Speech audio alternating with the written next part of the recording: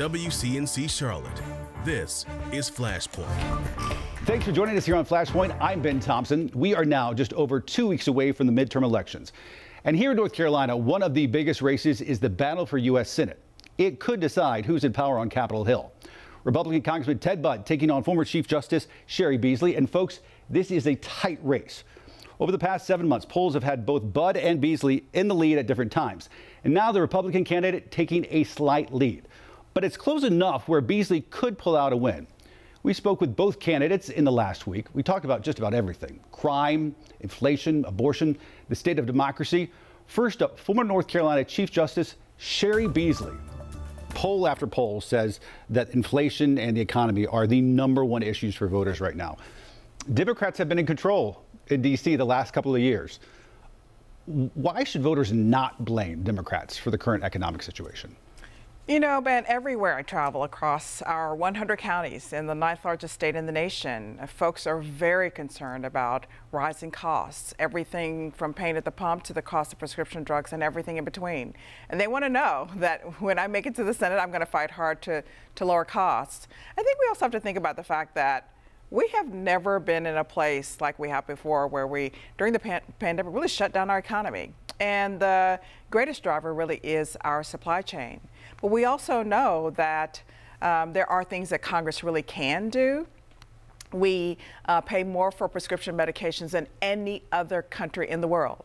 And Congress can stop that. And we also know that corporations are making 70 year record profits under the cover of inflation. And so they're jacking up prices on the things that we need. And Congress can stop that. You know, my opponent, Congressman Ted Budd, has voted on, on, on against lowering prescription drug prices uh, while taking corporate PAC money from Big Pharma. Uh, and voted against uh, lowering costs on the things that we need and is always uh, voting in favor of corporations and special interests on his own and not the interests of North Carolinians. Um, some folks had said the American Rescue Plan went too far and actually helped create the inflationary situation we're in. Do you think that's the case? Well, I know is that this was a very difficult time for our country.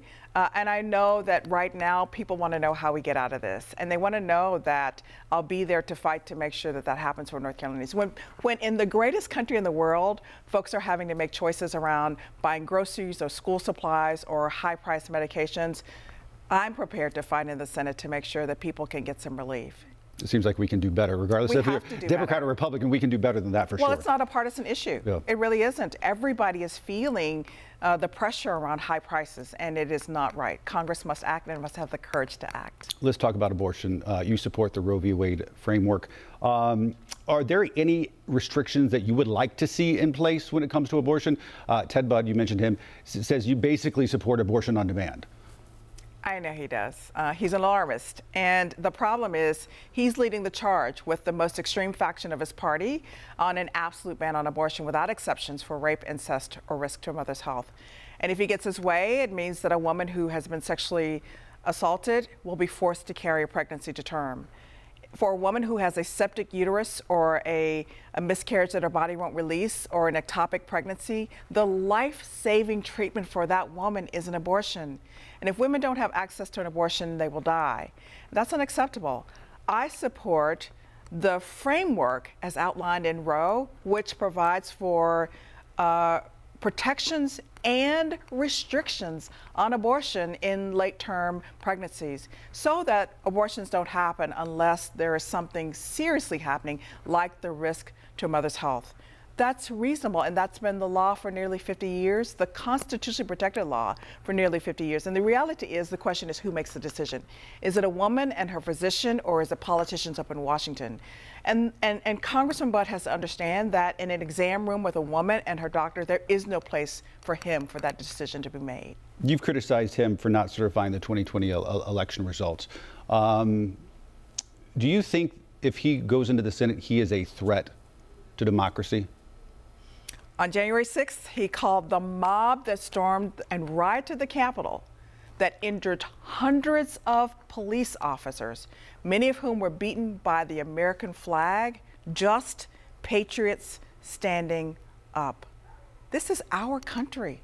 And even after all of that violence, yeah, he refused to certify the election and called them just patriots standing up.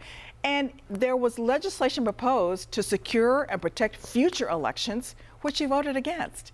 And even when pressed about whether or not he will accept the results of this race, he's reticent to say yes. We need someone who believes in democracy, who believes in, in our country, and who believes in safety. I mean, someone who not only is an election denier and, and touts the violence that happened at the Capitol on January 6th, but fails to vote for funding for law enforcement, for our police officers here in North Carolina. He's done so on four separate occasions. He's been in Congress for six years, and knowing that we have an opioid crisis here, he's voted against helping law enforcement officers fight for that. He's going to be one who's going to attack my record, but he does so because he cannot defend his own. Uh, North Carolina, one of the latest scenes uh, of a mass shooting here in the United States, happens hundreds of times over the course of this year. In Raleigh, a little over a week ago, five people um, killed. A lot we still don't know about this, uh, but what can we do about these these mass shootings? You know, this is just heartbreaking, and uh, this has been really difficult for uh, our community in Raleigh, and, and my heart and my thoughts and prayers certainly go out to these families and to our communities. Uh, I, I, also know that we've got to work uh, in tandem with law enforcement officers to keep our communities safe. Um, you know, I've been a judge for over two decades and served as Chief Justice of the Supreme Court of North Carolina. I've worked with law enforcement. I've held violent offenders accountable. I created the first human trafficking court here in North Carolina. And what I know is that we have to make sure that law enforcement officers have funding so that they have the resources to keep themselves and our community safe. And I also know that we have to invest in, in community-based violence prevention programs so that we're stopping the silent cycle of violence. But we also cannot be afraid to talk about gun safety. And Congressman Budd voted against bipartisan legislation on gun safety and mental health for children that was supported by Senators Burr and Tillis and law enforcement in North Carolina. Well, we need to be responsible folks. We've got to make sure that we are in consultation with public safety officials and with law enforcement so that we're creating legislation that works for folks here in North Carolina. We need universal background checks, we need red flag laws, and we need to make sure that we are eliminating these ghost guns. I mean, we've got to commit to keeping folks safe. I think the, the Senate has an obligation to do that. Congressman Budd is one of the, he is the number one rated elected official, uh, uh, candidate in this election cycle by the NRA. I mean, we, he is a gun shop and firing range owner. Nothing wrong with that. I come from a family that hunts as a part of our culture and tradition here in North Carolina. But he also is profiting from what's called murder insurance, which defends uh, domestic abu abusers from crimes up to murder. You can't do that and then be committed to, to, to, to public safety and criminals preventing crime on the other hand. Uh, people want to want effective governance and they want to see that people can actually work together regardless of what the outcome might be. Um, name a Republican that you respect. Oh gosh, I uh, respect Senator Tillis. I mean, he lives here in North Carolina and he understands our culture around veterans and farms, and um, and I would very much look forward to working with him. I was very disappointed that, that Congressman Budd voted against this bipartisan legislation on gun safety, which our uh, senators supported. A few rapid fire but fun questions. North Carolina mountains or beach? Mm. Which one? If I had to choose the beach. Okay, that's fair. There are no right or wrong answers know, here. but they're so awesome. Um, favorite North Carolina fast food chain? You got Bojangles, you got Krispy Kreme, you got Cookout. I'm going to say Krispy Kreme. Oh, one thing you agree with Ted Budd on. How about that? My kids would say Cookout. um, in your mind, is there a best spot, a best barbecue joint in North Carolina? Ooh, now you know we got Eastern. Yeah, oh, yeah, we, of course. Western. Eh. I just love barbecue. It's great. It's hard to go stuff. wrong. Cheri Beasley, thank you so much. We appreciate, appreciate it, Ben. Thank you. All right, more Flashpoint after this.